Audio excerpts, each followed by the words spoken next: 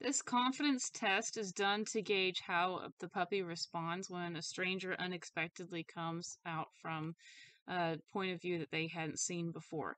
We're looking for overaggression reactions, which is a sign of fearfulness, or the obvious um, fearful reaction where they retreat. So, what I'm looking for is confidence and curiosity. I don't want an overreaction with aggression, but I also don't want them to act fearful. Let's see how their results are. Keep in mind throughout Rogue's test, the cows had kind of gotten her nervous, and when the stranger popped out in front of her, even though she was a little unsure, she didn't turn around and run.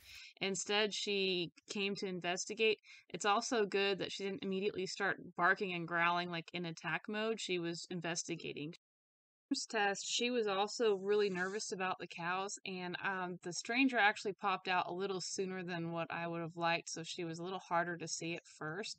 However, I was still really glad that she didn't again get scared and try to run away. Instead, she came to investigate, but at the same time, not acting over aggressively, wanting to in- find out if this is actually a threat before she decided to react a certain way.